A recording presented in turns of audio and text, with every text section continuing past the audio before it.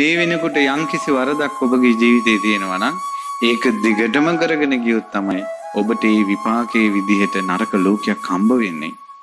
අද මේ ධර්මය අසද්දී ඔබ අද ඒක නතර කරනවාද? ඔබ මැරෙන්නේ වැරදි අත්හැරපු කෙනෙක් විදිහට.